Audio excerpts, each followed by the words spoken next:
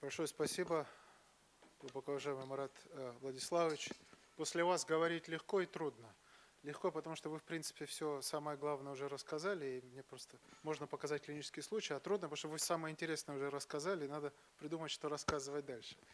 Но тема очень важна, потому что э, даже не углубляясь в такие сложные, на первый взгляд, методы лечения, как ингибирование PCSK9, даже обычная терапия статинами, которая уже давно и доказано снижает риск э, сердечно-сосудистых осложнений, и не только, она, к сожалению, используется недостаточно. И в нашей стране, помимо того, что мы не назначаем препараты, часто мы еще их назначаем в неправильной дозе.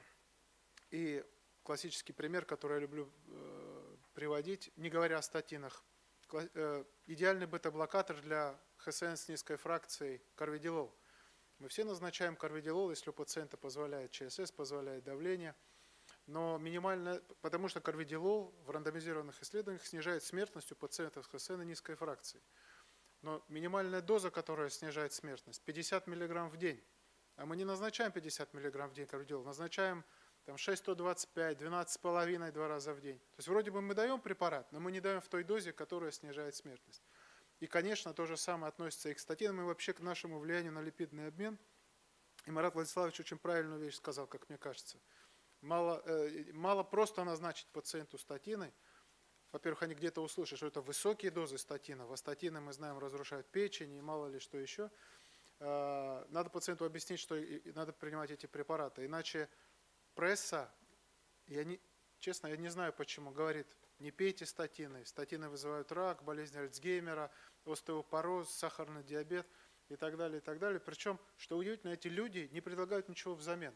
Я бы подумал, ну да, не пейте статины, пейте мою таблетку. Они просто говорят, не пейте статины. Или в последнее время не соглашайтесь на химиотерапию. Вас убьет не рак, а химиотерапия. люди отказываются. Совершенно непонятная вещь, ну, конфликт интересов. Еще раз повторюсь, что холестерин либо протеинов низкой плотности – это один из самых главных и, что важно, модифицируемых факторов риска сердечно-сосудистых событий. Вы это прекрасно знаете. И чем ниже уровень этого показателя, тем меньше риск и фактически сегодня мы можем практически до минимальных значений снижать концентрацию холестерина либо протеина низкой плотности, и при этом, чем дальше мы его снижаем, тем больше пользы. И пока мы не дошли до той концентрации, когда мы начнем видеть какие-то серьезные осложнения либо побочные эффекты. И работает принцип, чем ниже, тем лучше. Если мы снижаем это, э, концентрацию холестерина либо протеина низкой плотности на 1 ммоль на литр, в России все-таки мы измеряем чаще в миллимолях на литр, чем в э, миллиграмм процентах. Мы снижаем риск на 21%. Много это или мало? Я считаю, что это много. Недостаточно много. Так же, как недостаточно много, часто бывает снижение на 1 миллимоль на литр. Я вам покажу клинический случай пациента с нашего, с Московского университета, который как раз, к сожалению, пошел по неправильному пути. Чего мы боимся? Мы боимся осложнений. Действительно, холестерин это не какой-то побочный продукт метаболизма, он нужен и для синтеза клеточных мембран, для некоторых витаминов, для там, определенных гормонов, в частности половых гормонов. Э, он нужен. И опасения они оставались, но мы видим, что чем больше мы снижаем, тем меньше риск сердечно-сосудистых осложнений. Даже до концентрации меньше, чем 50 мг процент, мы видим совсем небольшие, меньше, чем 1,4 ммоль на литр. Ну и дальше я скажу про осложнения, которых на самом деле не так много. Что мы знаем точно? Что за 20 лет статины, которые одни из самых важных и главных препаратов в сердечно-сосудистой медицине, помогли миллионам людей избежать развития тяжелых событий. А мы знаем, что в отличие от других специальностей, наши пациенты, к сожалению, не просто смертны, они смертны внезапно. Как говорил Воланд Берлиозу, помните, на скамейке на, на Патриарших прудах, э, в институте мы шутили, что самая хорошая специальность – дерматовенерология – эти пациенты никогда не умирают, никогда не выздоравливают и никогда не звонят по ночам.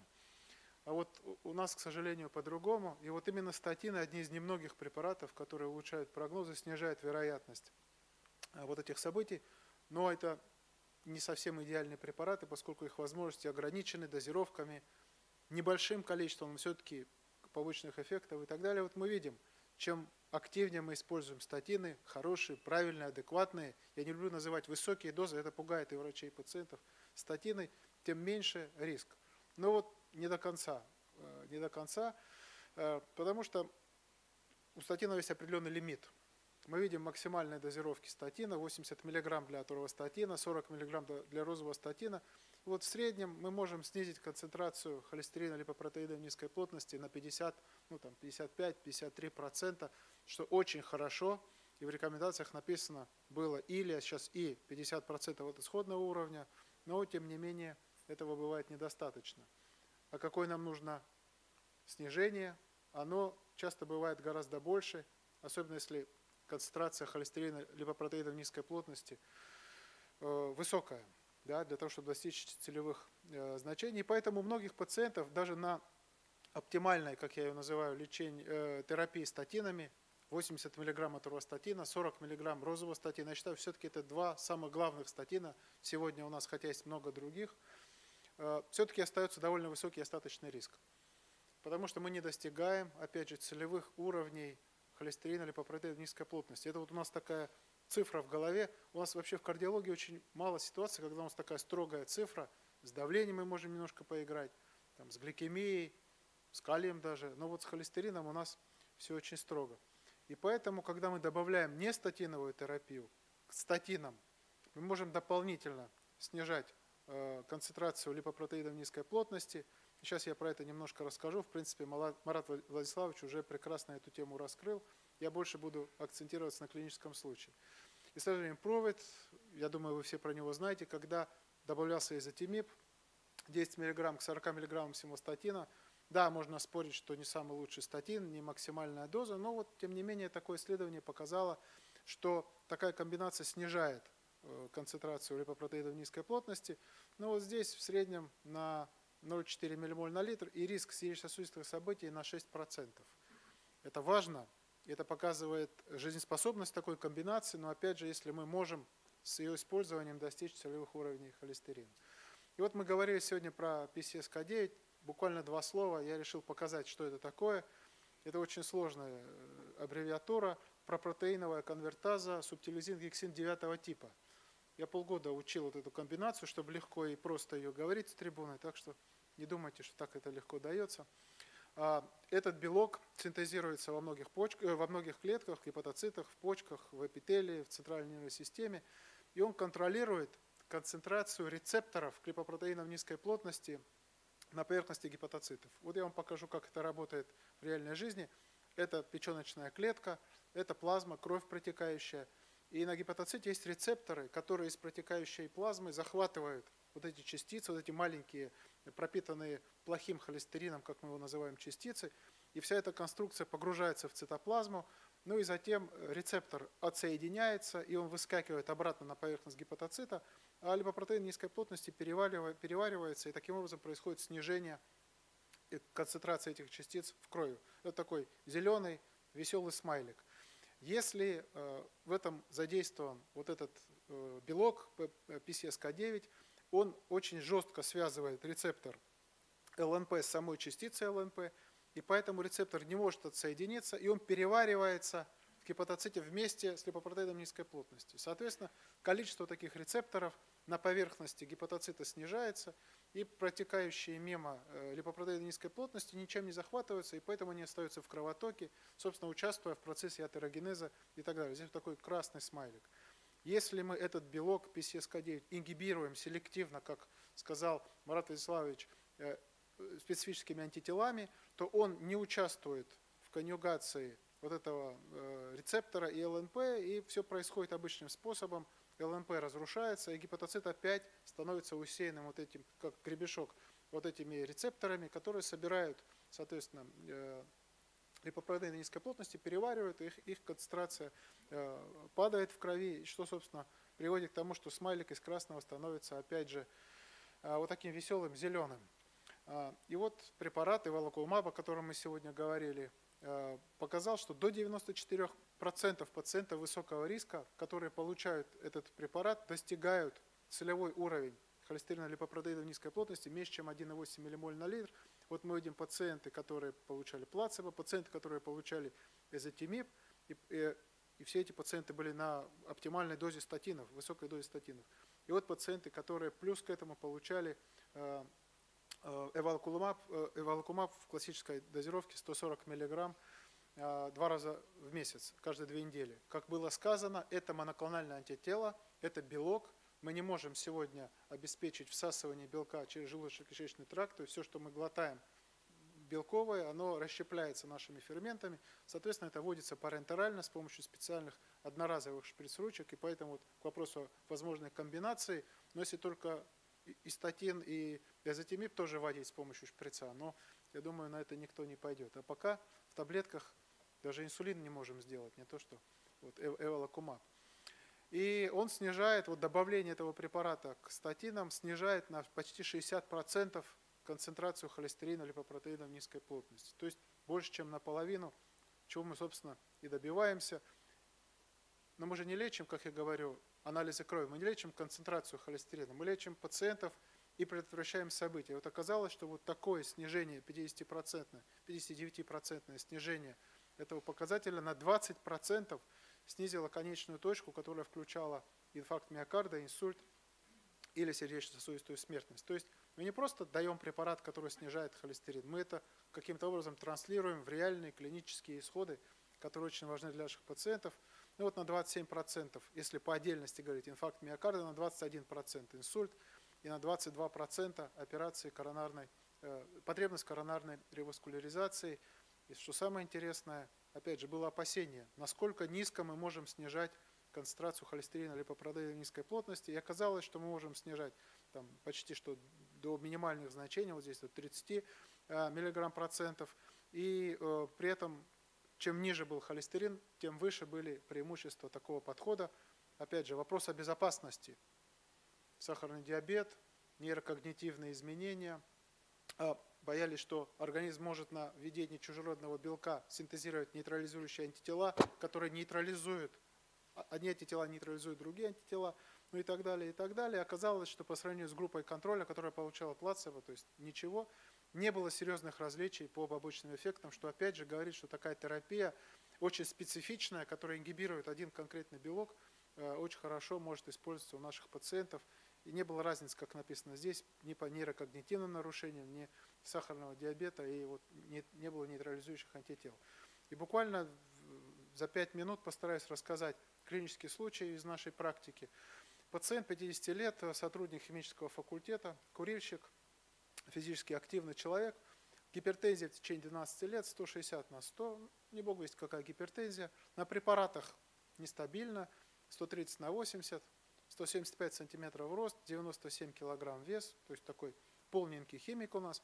И он приходит, пришел на эм, осмотр 135 на 80, давление ЧСС 56, э, э, частота дыхания 16, ну, вполне себе такой стандартный российский пациент.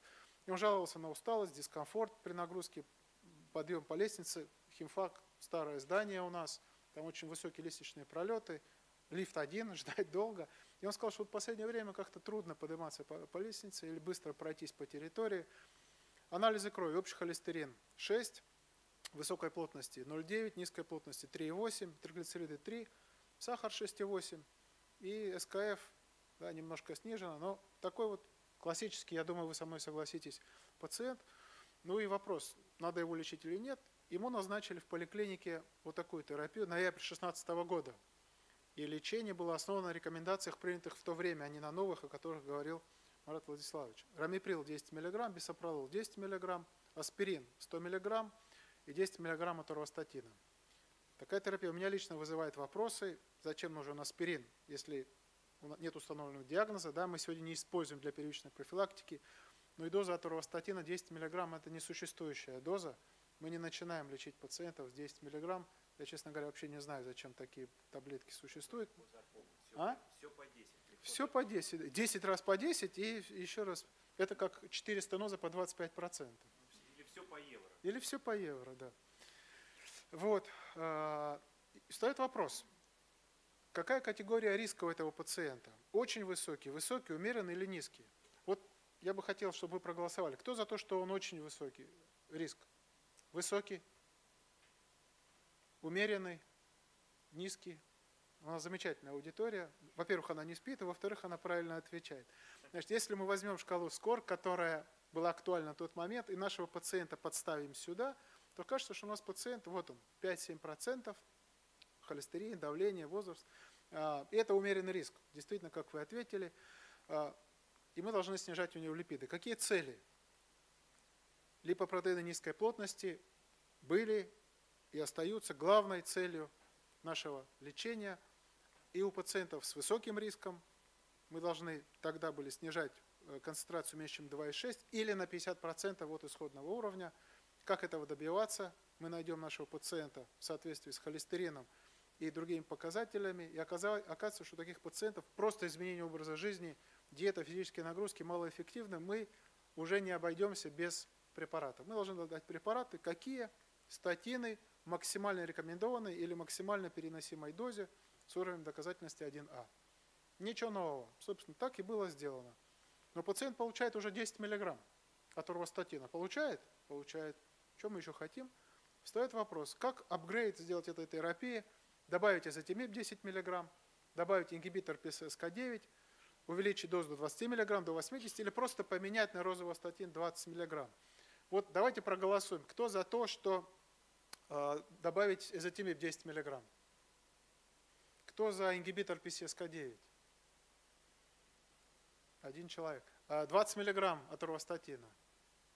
Один, два. 80 миллиграмм аторвастатина? Какие все агрессивные. 20 миллиграмм розового статина? А, все-таки большинство переключило бы на 20 миллиграмм розового статина, но опять же, это не максимальная доза, да? А Что было сделано? Пациенту дали, проходите, активно сам. А, Пациенту дали 20 миллиграмм аторвастатина, и, в общем, врачу показалось, что он дал в два раза больше дозу, и все должно быть хорошо, ну или в крайнем случае очень хорошо.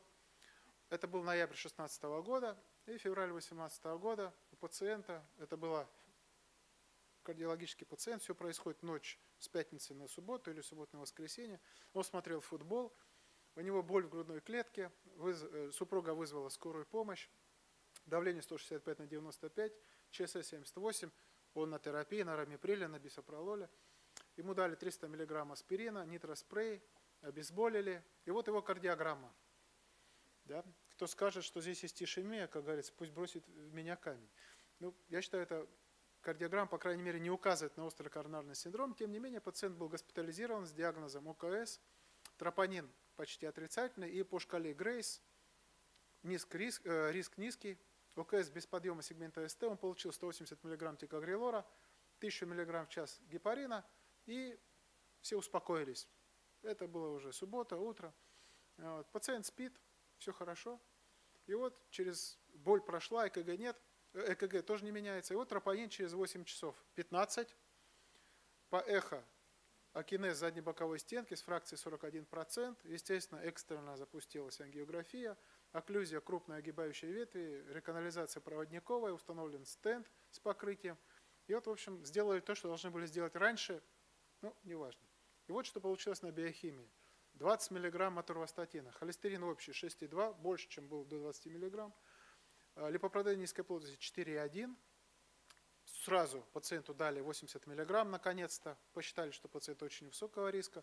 Параллельно глюкоза 16, гликированный гемоглобин 7,2. То есть у пациента изначально было 6,8 сахар, а здесь уже 16 может быть и на фоне стресса. Но 7,2 не может быть на фоне стресса, то есть у пациента сахарный диабет, и он получил инсулин по портленскому протоколу, вот, чтобы держать сахар между 7,8 и 10 миллимоль на литр. Мы не снижаем у таких пациентов до нормальных значений, потому что это увеличивает риск. Вот это, не буду на этом останавливаться. На пятый день пациент выписался с фракцией 48, получая тикогрелор, классическую дозу 92 раза в день, аспирин, рамиприл, бисопролол и 80 мг аторвастатина. Диабет мы лечи, решили лечить э, метформином 2 грамма в день и лираглютид, начиная с 0,6 мг на э, один раз в день подкожно, ну и затем титрование дозы. Это, может быть не совсем правильная комбинация, но тем не менее не будем на ней останавливаться. Через, 11, через 3 месяца он, через 2, 3 месяца он пришел, общий холестерин на 80 миллиграммах 4,1, низкой плотности 2,9, высокой плотности 0,9, триглицериды, но зато прекрасная, э, прекрасный гликемический контроль. Но вот нас это Вас это устраивает? Нас это не устраивает. И что ему делать дальше? 80 мг аторвастатина. Мы даем ему изотимип, фибраты, секвестранты жирных кислот, которых у нас нет практически, никотиновая кислота или омега-3 ненасыщенные жирные кислоты, ингибиторы PCSK9. Кто за изотимип? Кто за фибраты? Кто за никотиновую кислоту и красное лицо? Не то. Кто за ингибиторы PCSK9? Есть такие в наших рядах. Значит, если мы вернемся, у него низкая плотность 2,9. У нас целевой уровень тогда был 1,8. 2,9, 1,8. Эзотимип написано в рекомендациях после того, как мы дали статин. Если мы не достигли, комбинация статина и ингибитора абсорбции холестерина, то есть изотимиба, который мы должны использовать.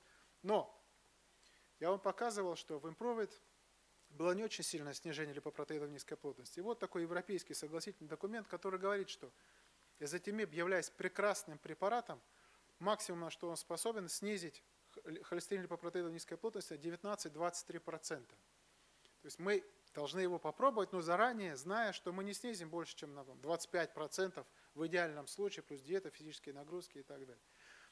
А поскольку пока мы не достигли целевых уровней, пациент как бы находится в зоне риска, то было принято, да, и вот в прошлых рекомендациях было написано, что если не работает статин плюс изотимип, у пациентов очень высокого риска и высоким уровнем э, LDLC, мы должны или можем, 2B это, мы можем рассматривать добавление PCSK9, что поменялось в рекомендациях 2019 года, но тогда у нас были такие рекомендации.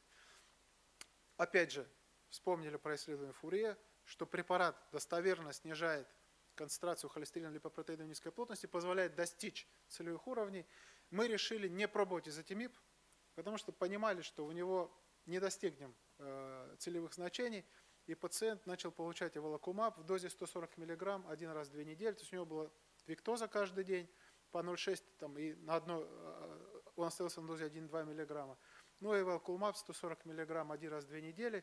Надо сказать, что препарат можно либо так использовать, либо раз в месяц, но тогда делать три укола сразу с разницей э, с интервалом в 30 минут, тогда получится 420 миллиграмм, но один раз в месяц. То есть есть варианты, чтобы не возить, например, с собой эти шприц-ручки. А, и вот динамика всех его показателей, с чем он пришел изначально, мы не знали тогда гликированный гемоглобин. Февраль, когда он перенес ОКС, апрель, через три месяца 80 мг турвастатина, недостижение уровней. И вот октябрь 2018 года – общий холестерин 2,7, низкой плотности 1,3. Ну, сахар как был низкий, так и он и оставался низким. А, и я бы хотел этим случаем показать, что, возможно, у некоторых пациентов мы должны рано начинать нормальную терапию статинами. Я, опять же, не люблю говорить высокими дозами статинов. И сразу начать рассматривать, тем более и данные клинических исследований, и рекомендации позволяют нам это делать, добавление препарата который достоверно и сильно снижает холестерин липопротеидов низкой плотности, в частности, вот эволокумаб, который как раз использовался у пациентов высокого риска. Это наша клиника, мы приглашаем всех в гости, и я уложился. Да. Спасибо большое. Если